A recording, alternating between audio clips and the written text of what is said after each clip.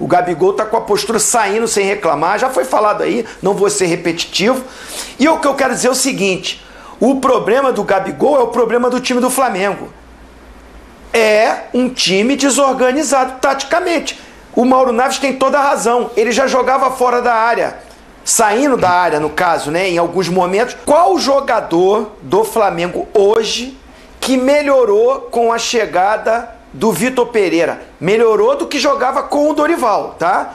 Não é que tá, tá jogando bem, que tá num momento bom. É que ele, ele joga melhor do que jogou no ano passado. É, o, o, o Zin, hum... não dá. É, inventor bom foi Santos Dumont, cara, inventou avião. Bill Gates, olha que coisa maravilhosa, tecnologia. Então, esses caras foram uns baita inventores, entendeu? Não precisa, não precisa ficar inventando mais nada. Você já, já tá, não dá pra você seguir dessa forma. É, meus amigos, Zinho, um dia após o outro, descendo-lhe a marreta no Vitor Pereira, mas ele tá certo, hein? Esse esquema aí tá acabando com o Gabigol, velho. Que o cara tá correndo. Tá passando o pano. Vamos assistir o programa, meu querido? Dá aquela moralzinha, botão aqui embaixo, clique em se inscrever, aciona o sino, amassa o like. Vamos comentando aí no final do vídeo tem a conclusão. Vambora. Vou falar um negócio pra vocês. É dura a vida de que jogador do Flamengo, viu? Porque se a gente pegar a média de gols, a média do Gabriel ainda é uma média alta. A gente pode fazer uma comparação aqui daqui a pouco com as temporadas anteriores. É, a grande questão é que ele tá mais de um mês sem conseguir marcar um gol. É, a torcida já começou a pegar no pé em rede social. Alguns torcedores acho que tá meio dividido. Mas assim, é, o esquema do Flamengo também não tá ajudando muito, né, Djalma? A gente tem falado aqui que ou aparece a individualidade ou o coletivo tá devendo. Assim, o, o, a maneira que o Flamengo vem jogando, todos nós estamos falando aqui a cada dia. Realmente não vem jogando bem.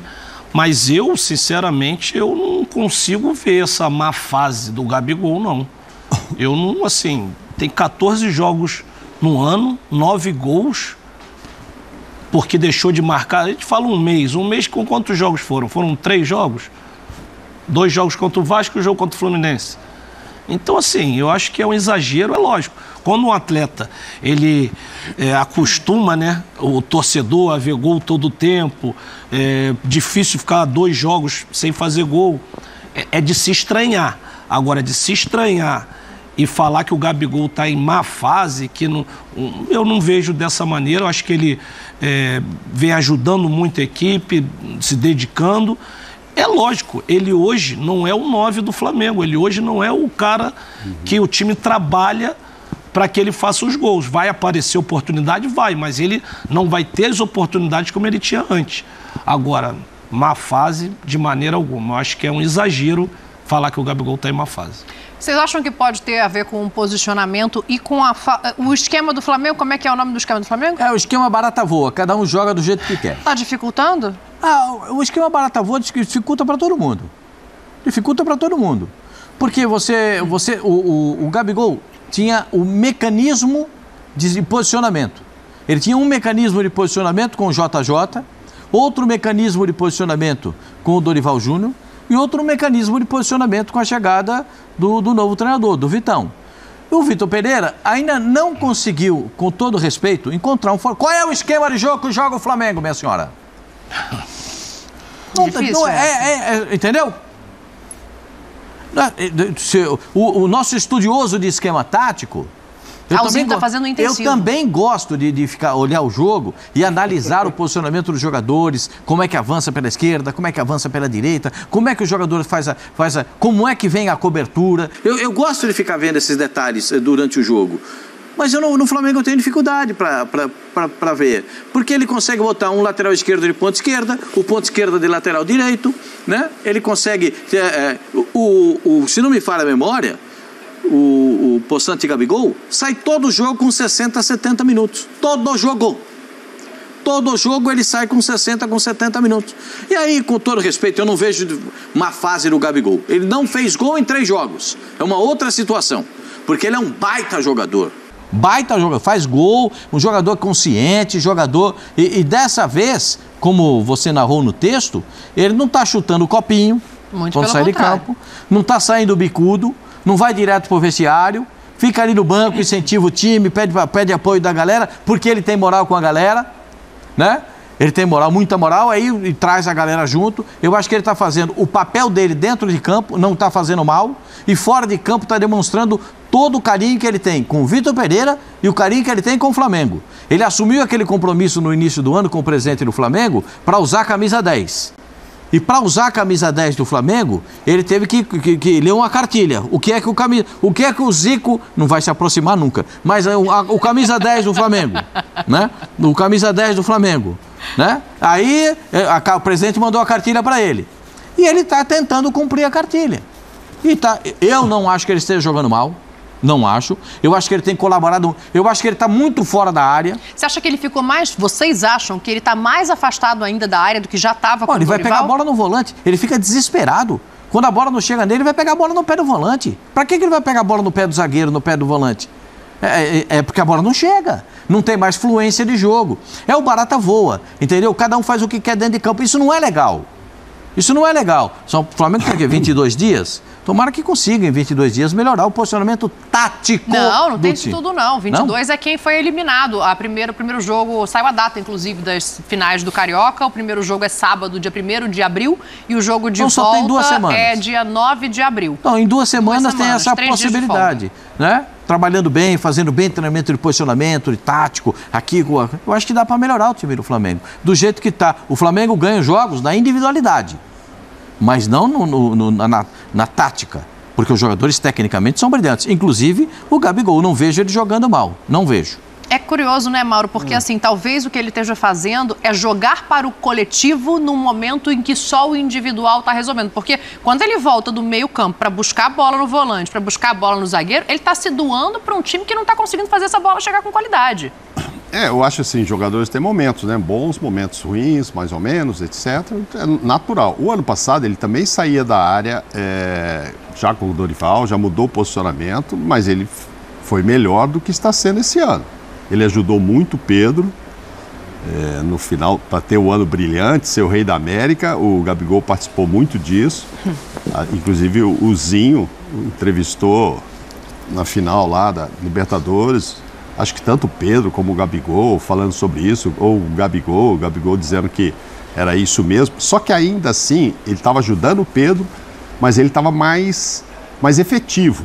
É que a gente vê um cara que está acostumado a usar 9, artilheiro e tal, agora está com a 10, a gente quer gols, né? Parece que o termômetro ali é só no gols, gols. Ele estava ajudando. Acho que esse ano ele não está tão inspirado. Ah, já fez 8, 9 e tal, vai fazer. Já já vai fazer, é dele isso. A média histórica ali no Flamengo é, é, é ótima, né? É mais do que um gol a cada dois jogos. Mas assim, é o momento agora. O momento agora é do Pedro. O momento agora é do Pedro. Não é nem do Arrascaeta, que é o, o craque do time, assim, na, na expressão técnica. É o Pedro que tem brilhado. Agora, amanhã ou depois, me parece que as maiores vítimas do Gabigol são exatamente Palmeiras e Fluminense, que vai vir um Fla-Flu. Aí amanhã depois ele se inspira aí, faz o gol decisivo contra o Fluminense e volta a ser o xodó e tal. Ele é o xodó da torcida e tem motivos para isso, já fez por isso. Mas acho que realmente não está no, momento inspirado. Não sei se pelo, tanto assim pelo esquema, porque sair da área, etc. Ele também saiu com o Dorival e ele foi mais brilhante, eu acho, que o ano passado, mais efetivo repito, tanto ajudando o Pedro, como ele também fazendo gols e etc. É isso que eu acho. Não é um grande momento do Gabigol, que não o diminui, é momento. Amanhã o... depois ele brilha de novo, aí tá tudo certo. Ozinho, olha as mensagens que estão chegando aqui na hashtag, ó. É, o Léo Aragão, o esquema não ajuda o Gabigol. O Gil tá falando, o Gabigol não ajuda o time, ele atrapalha, tem que colocar o Matheus França. É, o Vieira, adora o Gabigol, mas não tá jogando nada, erra tudo, tá correndo muito. Então, a gente tá vendo aqui três torcedores do Flamengo, dois cobrando, Zinho. De onde é que vem essa cobrança, então, se a gente tá concordando aqui que ele não tá sendo ajudado também? Ah, vem a cobrança porque é, espera-se muito, né? Porque confia que o cara tem potencial. Você não vai cobrar de quem não tem para te dar a resposta. O torcedor que cobra é porque a história do Gabigol por si só fala no Flamengo. O ídolo, os números, os títulos, as conquistas, o jogador decisivo. Ele construiu isso dentro do Flamengo. Não estou nem falando nos outros clubes que ele passou, né? É, é, assim, seleção, Santos, mas assim, o Flamengo é, é a repercussão e é o nome a ponto dele, quando joga contra outras equipes, as crianças dos outros times ficam olhando para ele idolatrando. Ele é o ídolo da molecada. Ou, ou não aconteceu isso em Campeonato Brasileiro? Lá jogando contra o Grêmio, jogando contra o Palmeiras, jogando contra o Corinthians, jogando contra o Cruz. Contra todo mundo. Agora, há pouco tempo, teve o jogo contra o Vasco aí, perfilado, as crianças olhando para ele. É o, é o ídolo, é o cara que desperta o ódio e a paixão ao mesmo tempo. Ele tem essa personalidade. Ele é provocador também, né? Então ele tem personalidade, às vezes entra em confusão desnecessária. Aí o torcedor xinga, reclama, mas aí o do Flamengo vai idolatra. Aí quando a coisa não acontece, é, é o nome mais falado. É, o momento do Flamengo o, não é o melhor, e aí o jogador mais cobrado é o que é mais reverenciado também, é o que é mais idolatrado, é o que é mais falado quando vence. É o Gabigol. Ele sabe conviver com isso. O bom é que o Gabigol tem personalidade para isso. Agora, eu concordo com os companheiros. Não vejo o Gabigol como o problema do Flamengo, pelo contrário. Ah, teve um companheiro aí, né, um, um, um fã de esporte, que colocou é, que ele está correndo muito, se dedicando muito, mas não vive uma grande fase. Concordo. O outro disse que o Gabigol, se não me engano, é, é o, é o craque, é o cara, vai decidir. E eu só não concordei com o último que diz que assim tem que tirar ele para botar o Matheus França porque ele não está jogando nada. Eu não concordo. Eu não concordo. Eu acho que assim, a postura do Gabigol, primeiro, muito profissional. Olha que eu sou um cara que critiquei ele no passado por alguns posicionamentos e algumas atitudes dele. Eu, como atleta, ex-atleta profissional, analisando o contexto, já critiquei o Gabigol. E hoje eu estou aqui para defendê-lo. A postura dele dentro do elenco, de liderança, de incentivo ao treinador que está chegando e que não faz um bom trabalho e que é muito cobrado, ficaria cômodo para o Gabigol se isentar. Ah, deixa lá.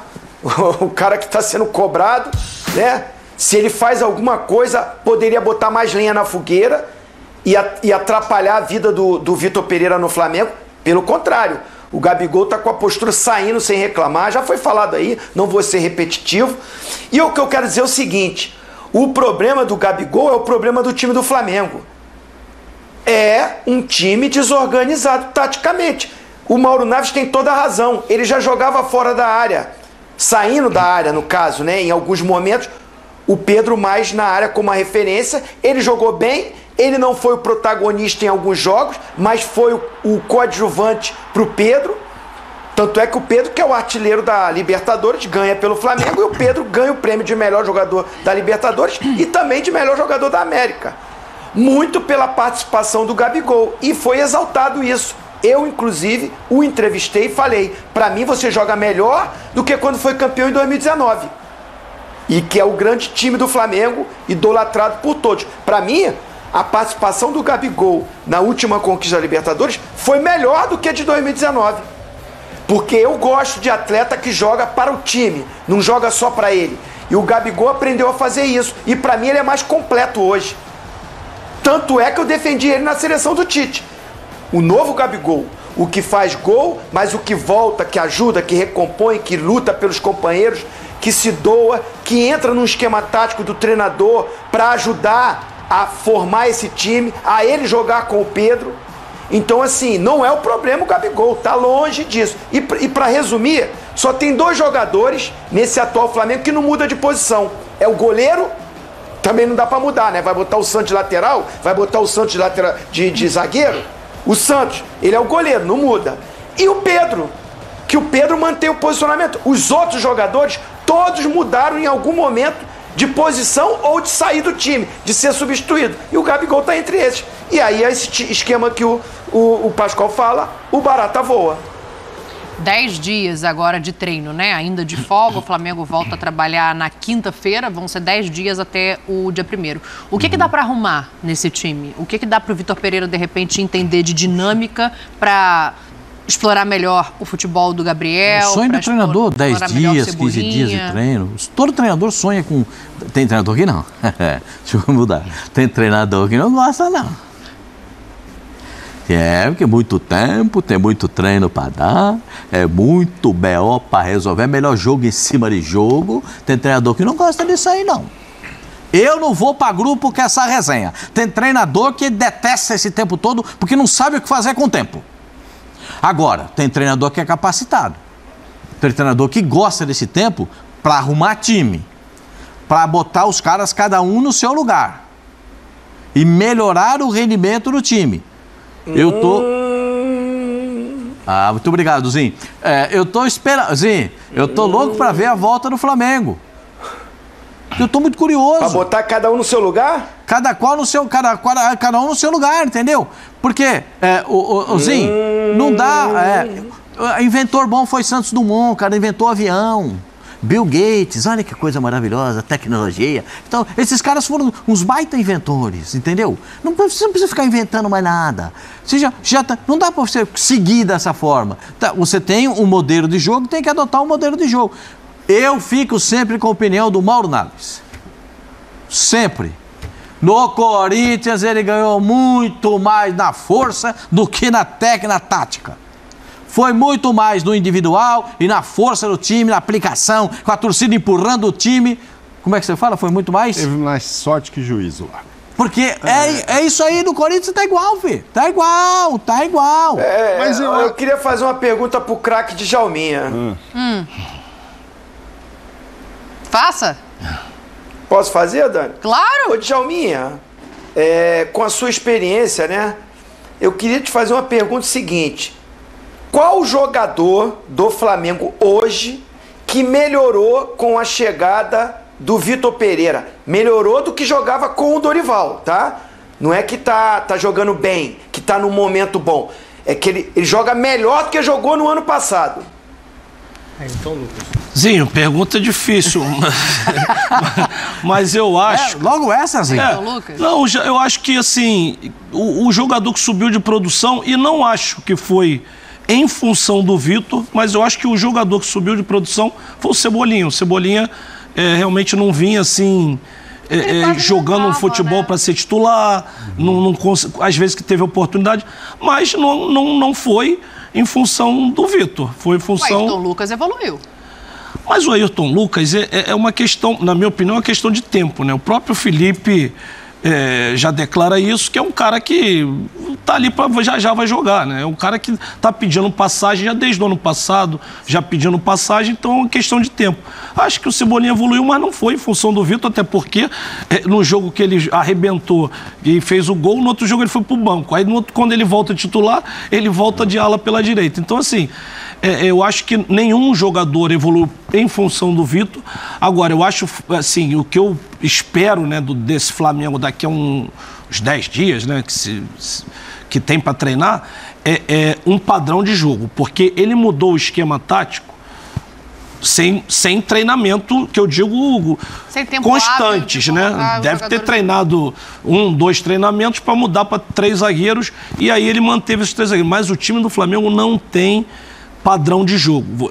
Entra no campo, fala, ah, o Flamengo vai jogar assim, é, aberto, os alas. Não, não tem. A verdade é essa, ele entra em campo, é, o Baratavô é. A, a, a, gente falava lá Bangu, vai lá Bangu. É, ou então lá outro nome que não pode falar. É, não. É, exatamente. Mas assim, eu acho que isso que eu espero ver o time do Flamengo, com um padrão de jogo, como você vê as equipes que têm uma qualidade técnica maior. Né? Você vê, e às vezes até a equipe que não é tão boa é, é, tecnicamente, você vê o padrão de jogo, como, como não, ele mas joga. o Corinthians ele não conseguiu fazer isso depois de um tempo? Eu acho que no Corinthians ele mudou da mesma maneira que ele mudou no Flamengo. Da mesma maneira. Ele tentou os três zagueiros. Que, com o Renato colocou... Augusto, ele sambou com é, o Renato Augusto de ponta Demorou. de lança. Sendo que, sendo Renato... que no Corinthians ainda tem uma. Ele teve mais dificuldade.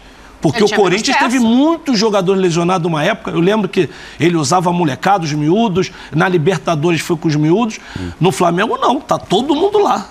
O elenco tá todo então, completo. Até o Rodrigo Caio voltou. Todo, todo, só falta o Bruno Henrique voltar. Ele tá com todos os jogadores em mãos e fazendo improvisação, mudanças. Eu acho que esse padrão de jogo que ele tem que encontrar. Eu acho que ele e, não assim, vai inventar muito, e, não. E, e, e, Não é ficar criticando o Vitor Pereira, mas é uma realidade. Que assim, eu não gosto também de ficar o tempo inteiro falando do treinador, o treinador culpado, não é, não é culpado.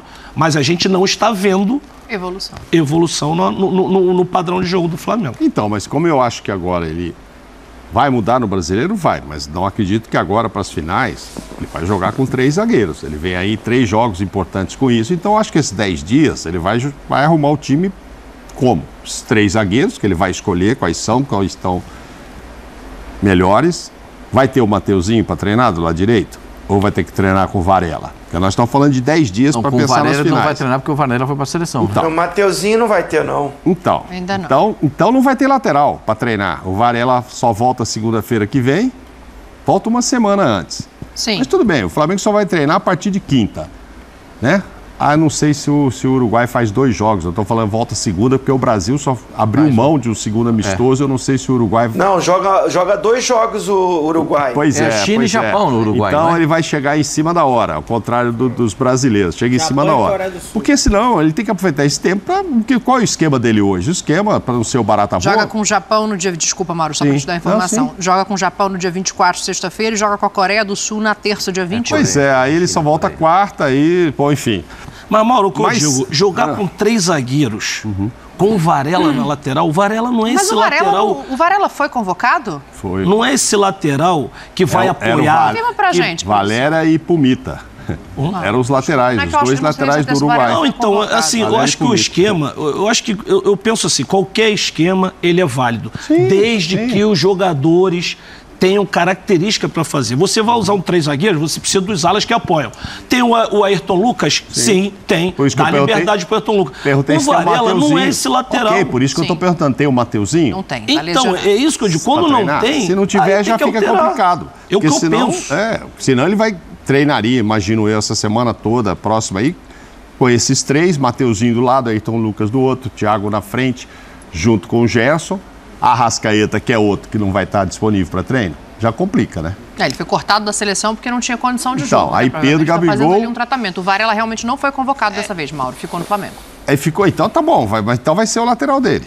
Ele não vai improvisar de novo o Cebolinha ali. Então ele vai treinar com o Varela, atacando mais ou atacando menos, vai ser o Varela. Ayrton Lucas do outro lado, Thiago com Gerson. Aí tem um porém, né? Eu já não sei se o Everton Ribeiro é titular do time dele ou não é mais. E aí, porque aí seria Rascaeta, Não, Pedro os, e três, Gabigol. com os três zagueiros, com certeza o Everton não, não- não joga. Só se o Arrascaeta não jogar. Porque Gabigol e Pedro vão jogar, Sim. o Arrascaeta por trás, e aí não vai jogar ele de segundo homem de meio de Thiago e campo, Gerson. Ti- É, Thiago vai e Gerson. Thiago. Então. Não tem dúvida. Aí vai uma Só que pergunta. agora eu não sei se ele vai conseguir treinar lá o que ele gostaria, porque eu não gosto de justificativa. Eu queria que tivesse inteiro, o Fluminense inteiro. Porque se ele também passar todo esse tempo na dúvida se a Arrascaeta joga, não joga, se joga meia boca e tal, aí vai falar, pois é, não pude treinar. Mas pelo eu menos ele vai queria." ter tempo para escolher um substituto, Vai, né? exatamente, Não exatamente. vai ter aquela coisa de ter que improvisar, treinar no jogo, treinar na decisão como ele fez, né? Aí ele também foi prejudicado. Foram tantas decisões que ele teve que tentar algo diferente, ou seja, ele testou jogando e decidindo. Agora não. Agora ele tem todo esse tempo para treinar um time. Ah, o Arrascaeta não pode jogar? Vai testar o, o Everton Ribeiro nessa função. Sim. Ali atrás do, eh, do Gabigol e do, e do Pedro. Ah, pode testar o Matheus França nessa função, né? Ou pode tentar o Vidal mais por trás e adiantar o Gerson, como ele já fez isso. Então ele tem tempo para treinar. Não adianta é, é, fazer o que tem feito às vezes. É, vai para o jogo e testa no jogo. Faz uma substituição que eu não sei se ele teve tempo para treinar. Agora o Vitor Pereira vai ter essa condição e aí a gente pode avaliar melhor. É. Agora, pergunta, Pascoalzinho. Não, a minha pergunta é, é, exatamente da questão do, do Arrascaeta. Né? Vale a pena? O, você, ele- ele tem que, ele- eu acho que o Arrascaeta tem que se tratar. O Arrascaeta tem que se recuperar. Depois voltar para jogar no time do Flamengo. Senão o Flamengo vai viver disso aí. Joga um pouco, sente, fica fora, joga outro pouco, sente, fica fora. Um dia isso vai ter que acabar. Como é que acaba isso? Com um tratamento, com um período prolongado para ele se recuperar, porque senão é o problema do pubis, é o problema na coxa, ou depois do, da face anterior vai na face posterior da coxa, e depois é, é, é o joelho que não está tá legal, é o tornozelo que não está bom, tudo em decorrência de uma situação só do problema do pubis. E fica até difícil depois de cobrar também boas atuações, porque o jogador não está jogando 100%, né? Então fica complicado. Então concordo com o Pascoal, é um Talvez fosse o caso de deixar o fora das finais do Carioca, pensando para estar tá inteiro no Campeonato Brasileiro e quando começar essa fase. Não é nem fora das finais, é solucionar esse problema dessa lesão. Não é nem ficar fora das finais, é solucionar é, esse problema. Dessa... teria mais tempo, né? Você ganha duas semanas, você deixa ele fora dessas duas finais, ele tem um tempo maior de recuperação. Vamos esperar, a gente está de olho aqui no que vai acontecer com esse Arrascaeta. É, é... é, meu parceiro, vem sendo complicado esse trabalho do Vitor Pereira no Flamengo né? Já deu três dias de folga para os jogadores, agora mudou a data da final, não é mais no dia 12, é no dia 1 só diminuindo o tempo de treinamento, e depois vai vir dar desculpa, ah, mas não tivemos tempo para treinar, tem 10 dias agora para trabalhar esse time do Flamengo. Até tô muito curioso, assim como o Pascoal tá para ver esse time do Flamengo aí jogar é, realmente no, no, no, confronto contra o Fluminense, né? Desperta a curiosidade. Quero ver se realmente vai ter essa melhora. Mas que esse esquema aí tá prejudicando não só o Gabigol, como todo. Gente, o Vitor Pereira não pode querer impor a característica de jogo dele ao time do Flamengo. Ele tem que se adaptar às características dos jogadores do Flamengo. Não adianta vir falar em reforço, eu sei que tem que chegar reforço, mas, gente, esse é dito e falado por todos que é o melhor elenco do Brasil. Então o cara não consegue fazer o melhor elenco do Brasil jogar, o que, que é isso? Inscreve um canal, assina o like, tamo junto.